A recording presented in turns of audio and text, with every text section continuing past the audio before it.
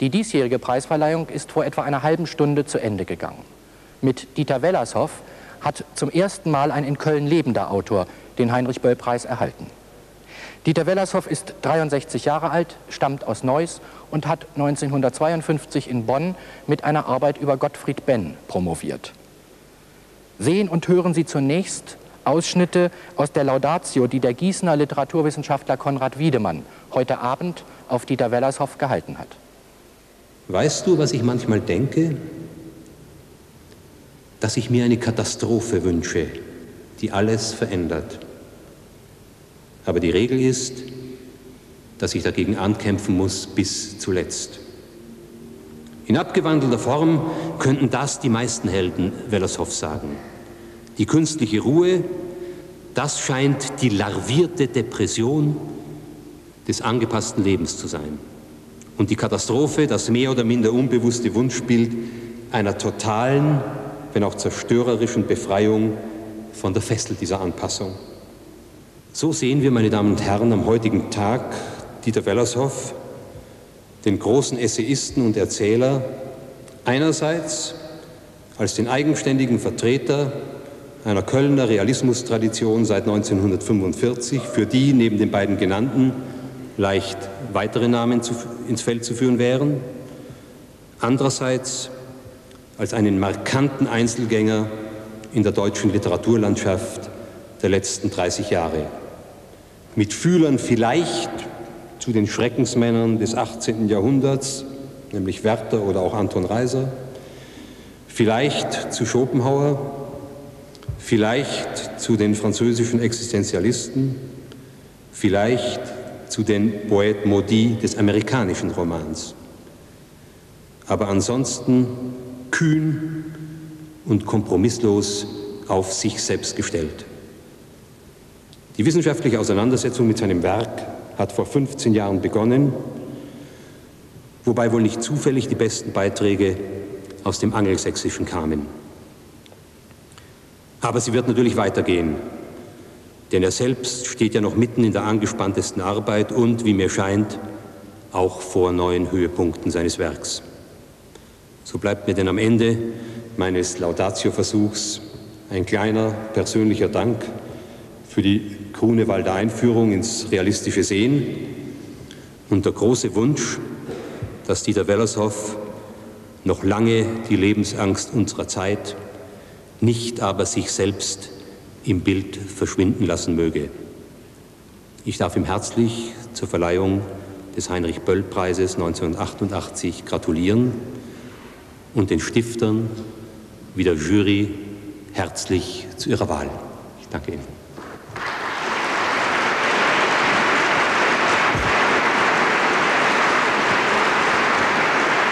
Nicht ohne ein leise mitklingendes Erstaunen erlebe ich diese festliche Stunde. Obwohl ich viel Zeit hatte, mich darauf vorzubereiten, bin ich schlecht dafür gerüstet. Ich war und bin eingestellt auf das Gegenteil, das Klappern der Schreibmaschine in der Abgeschlossenheit des eigenen Zimmers und die jahrzehntelange Gewohnheit, dem Literaturbetrieb und den Instanzen der öffentlichen Meinungsbildung den Rücken zu kehren und allein der sich allmählich entwickelnden Logik des eigenen Textes zu folgen. Fremde Stimmen, fremde Meinungen durften sich da nie einmischen, schon gar nicht die auf dem Literaturmarkt herumgeredeten und vollstreckten Vorurteile, die vielen von der kritischen Ordnungspolizei aufgestellten Verbotstafeln und Wegweiser die die eigene Imagination, die eigene Wahrnehmung des Lebens nur behindern können. Es gibt keine glaubhaften Rückgriffe auf überpersönliche Wahrheiten mehr, denn der geistige, der künstlerische Diskurs ist aufgesplittert in eine Vielzahl von Stimmen. Wie alter Schnee sind die letzten kulturellen Normbestände weggeschmolzen. Es sind Immobilien ohne Wert, die keiner mehr beleihen kann. Literarische Wahrheit wird nur noch individuell begründet, dort, wo der Schriftsteller mitten im Fremden mit der Welt zusammenstößt, wo seine persönlichen Beunruhigungen, Träume, Reizbarkeiten Gestalt gewinnen, auf weiten Fantasieexpeditionen und Erfahrungstrips durch den Stoff seiner Zeit. Sicher verstehen Sie jetzt besser, weshalb in meiner Freude über diese festliche Stunde eine leise Verwunderung mitklingt. Die tief eingegrabene Überzeugung von der notwendigen Einsamkeit und Selbstbestimmtheit der schriftstellerischen Arbeit und ihrer ganz ungewissen und unkontrollierbaren Wirkung lässt mich staunen über den festlichen Einklang dieser Szenerie. Ich bin nicht unempfindlich dafür, ich will gerne zugeben, dass es mich wärmt. Doch ich muss zugleich von der Lesart ausgehen, dass feste symbolische Handlungen sind, die utopisch über ihren Anlass hinausreichen. So wie am Ende der Komödie alle Konflikte gelöst scheinen und alle Akteure sich im Tanz finden, bis der Narr im Epilog davon singt, dass draußen weiterhin der Regen fällt, so ist auch jedes Fest eine gespielte, geträumte Versöhnung, in der die Widersprüche des Lebens vorübergehend verstummen. Ich nehme es gerne so in mich auf. Denn es wird in der Schwebe gehalten von einem ganz anderen Grundgefühl, das mich nie verlassen hat und einen Treibsatz meines Schreibens darstellt.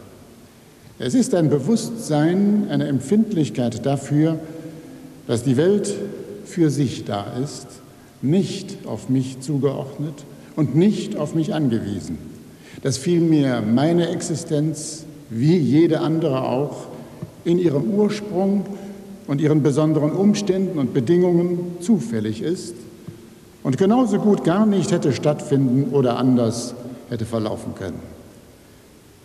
Biografisch ist diese Erfahrung verschärft worden durch den Krieg, den ich, mehrfach hat mir das deutlich vor Augen gestanden, nur zufällig überlebt habe. Warum ich und nicht die vielen anderen um mich herum? Ich hatte keinen größeren Anspruch darauf und auch keinerlei Verdienst daran. Am Grunde unseres Daseins wird Lotterie gespielt, so wie man es banal genug oft im Fernsehen erleben kann. Irgendeine verlegen lächelnde Person zieht aus einem Berg von Einsendungen ein paar Karten hervor, die mit Gewinnen belohnt werden, alle anderen wandern in den Reißwolf.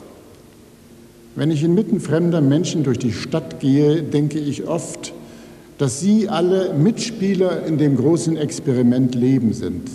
Jeder ein neuer, unwiederholbarer Versuch, zurechtzukommen mit den Umständen und Bedingungen, in denen er sich vorfindet.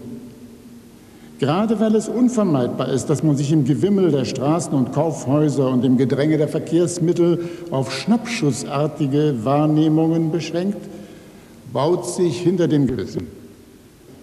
Während die Autoren der 50er und 60er Jahre von einer allgemeinen Aufbaustimmung begünstigt wurden, weht den Schriftstellern heute ein kalter Wind ins Gesicht. Und hier sehe ich einen wichtigen aktuellen Sinn eines solchen Festes der Literatur, wie wir es heute feiern. Es repräsentiert den Wärmestrom der Sympathie, der Erwartung, des Interesses, der nicht versiegen darf, wenn man will, dass es schöpferische Fantasie und lebenskräftige künstlerische Werke gibt. Ich danke Ihnen.